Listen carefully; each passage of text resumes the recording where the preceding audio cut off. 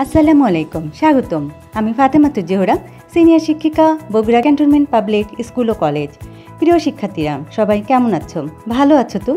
আমার আজকের উপস্থাপনায় রয়েছে বাংলাদেশ ও বিশ্ব পরিচয়, নবম শ্রেণির নবম অধ্যায়। তোমরা কি কোনো চিত্র দেখতে পাচ্ছ? বলতে পারবে, এই চিত্রগুলো কি নির্দেশ করছে? এই চিত্রগুলো নির্দেশ করছে একটি আন্তর্জাতিক সংস্থাকে, আর সেই আন্তর্জাতিক সংস্থা হচ্ছে জাতিসংঘ। তাহলে আজ আমরা পড়ব জাতিসংঘ ও বাংলাদেশ।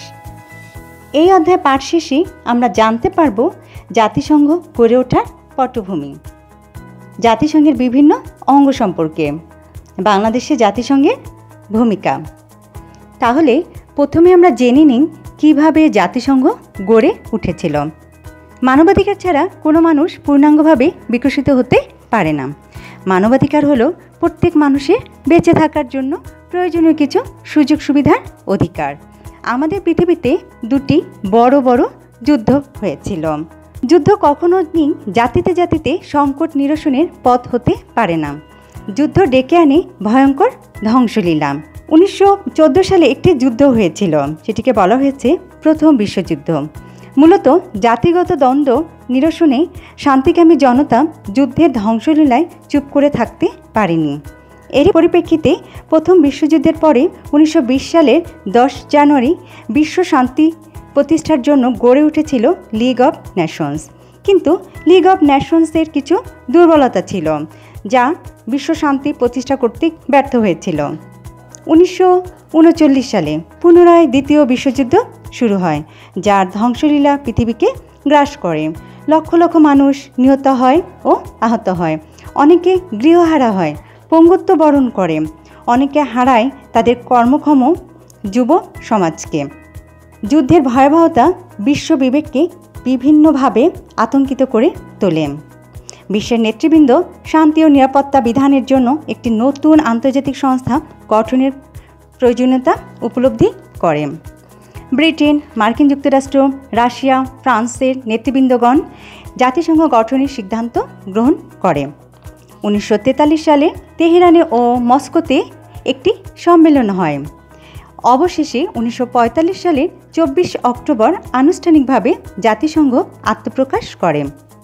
এই জন্য প্রতি বছর চব্বিশে অক্টোবরকে জাতিসংঘ দিবস হিসাবে পালন করা হয়ে থাকে। জাতিসংঘে রয়েছে পাঁচটি প্রধান অঙ্গ এবং একটি প্রশাসনিক বিভাগ। এবার আমরা পাঁচটি অঙ্গ সম্পর্কে জেনে নিই। সাধারণ পরিষদ জাতিসংঘের সকল রাষ্ট্র নিয়ে সাধারণ পরিষদ গঠিত। সাধারণ পরিষদকে বিতর্ক সভা বলা হয়। নিরাপত্তা পরিষদ। নিরাপত্তা পরিষদকে বলা হয় কার্যকরী পরিষদ। পাঁচটি স্থায়ী ও দশটি অস্থায়ী সদস্য নিয়ে নিরাপত্তা পরিষদ গঠিত।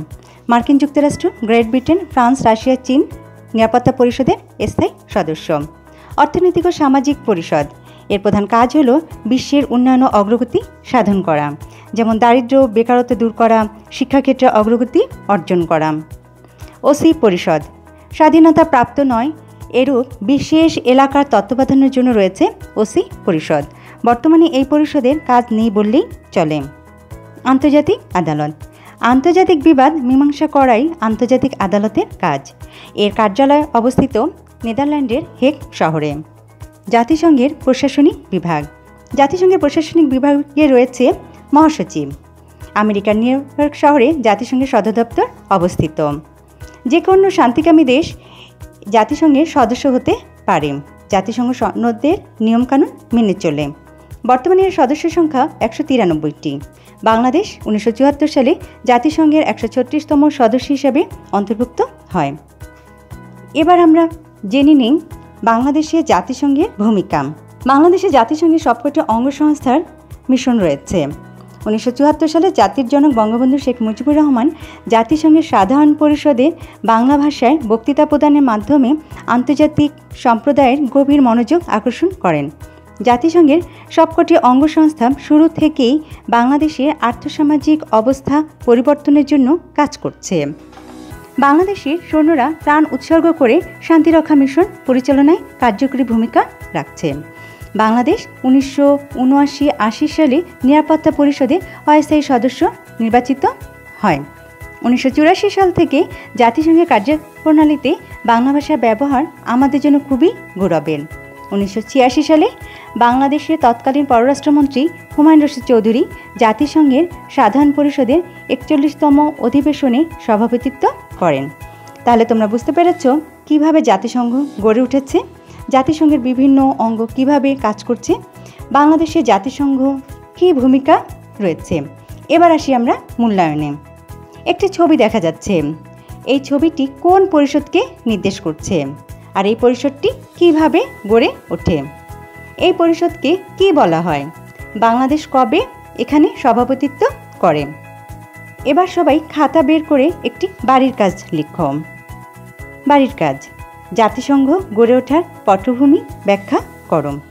ধন্যবাদ সবাইকে। সবাই ভালো থাকবে। আসসালামু আলাইকুম।